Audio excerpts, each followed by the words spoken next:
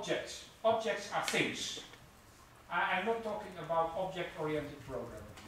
Yeah? It's nothing to do with that. Object, you could also say artifacts, apart from the fact that objects in rare occasions are not artifacts, but natural things. Right? So object could be physical things. So this is an object, this little box that I'm using to, to step through my PowerPoint. Right? But, but, but objects could also conceptual things, uh, like like, like messages. A message is an object, right? I, I, I, a password is an object. A, a story, I, I, tell you stories about Alghero. I tell this story all the time when I'm teaching task analysis. It's my story, right? I consider this story my possession, but it's not physical at all. Right? Uh, the signatures are objects, gestures, right? So, so, but only if objects can be shared between agents as a result of activity delegation, I'm modeling them. So when you are describing a task world, only describe objects that are used by people. This object, by the way, is used by me and by this machine here. So it makes sense to say this object is the way for me to communicate with my laptop and still be able to walk. Right? So, so but, but, but if not, don't describe it. It's, it's, it's a waste of, of effort to describe. But, but objects, if I provide you with a login and a password, and Teresa will do this in a couple of hours, then she is handling objects, which is uh, your ID, which will be something like your name, and a password that she makes up for you and that you could use or change if you want. But, but apart from Teresa and us, nobody else will ever use this website. Promised, right? So, so, but this is an object. It's a physical object, no, but it will be mailed to you, uh, so you know how to log in and, and use the system. So, um, objects are related to roles in the sense of rights.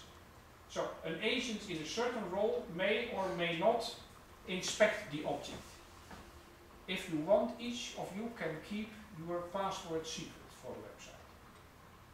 And, and some groups, they don't care. And they, and they just one of the group prints the list of passwords and hand it out. It's fine, right? It's up to you, right? So, but, but, but you could say, I, I only want myself to inspect the object, not even Teresa, which means you are really changing your password, which is fine. Um, change attribute values, right? So, so uh, maybe uh, not, not everybody can declare that your password should be open to everybody. Uh, maybe you can declare, my password is here, right? Put it open for everybody, but somebody else would not. Delete objects or, or keep a copy, right? So these are different types of rights, you could say, that, that, that different roles have different rights towards the same object.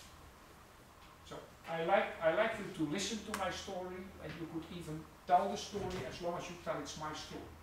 Okay? So, certain rights, but you cannot delete my story. And, and, and, and I wouldn't like you to, uh, to change my story.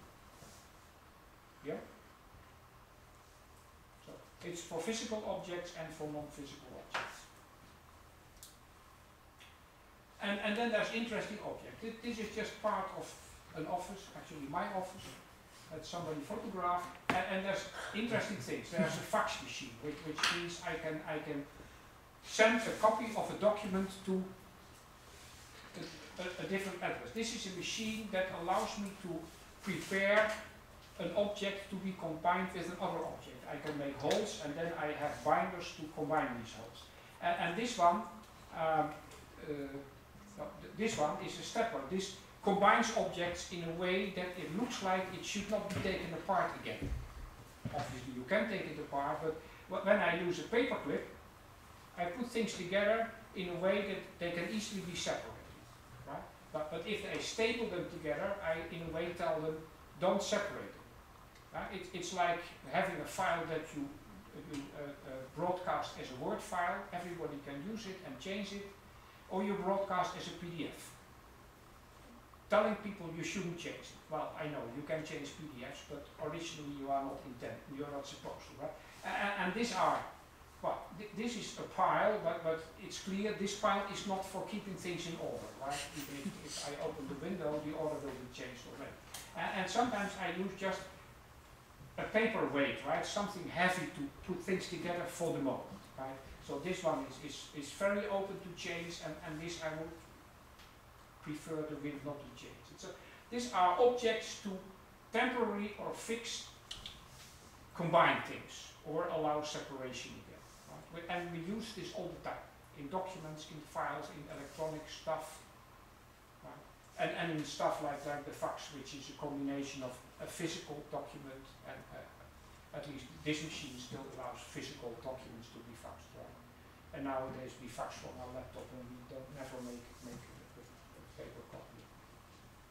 Okay, events. Well, this is the final. An event is an, let me say, unexpected trigger for a task. An event is something that happens without me doing something to make it happen. If I press the button, I make this machine change, right? But, but if the machine would change without, li- like, uh, it, it says overkubbels online or something, there was just a message from, from my, my Skype, right? And, and this is an event for me, because I didn't trigger this message to be there, but it tells me who of my friends or colleagues is online. So, an event, it's unpredictable, it could be a shutdown of a file server, or receiving an invitation to write a chapter, or reading a call for papers in a journal. These are things that happen to me. Right? And, and, and, and these trigger activities. So if, if I'm, well, if my job is to produce academic papers, which it is, then, then this event would better trigger an activity or, or a task for me and say, oops, I should write a paper for this journal. So, and, and, and uh, the problem is, if there's no agent appointed or feeling responsible for a certain type of event, then maybe nothing happens. Right?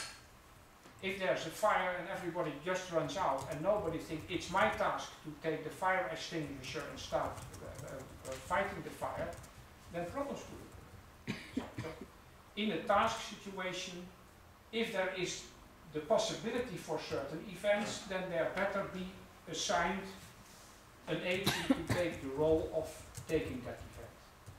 Okay?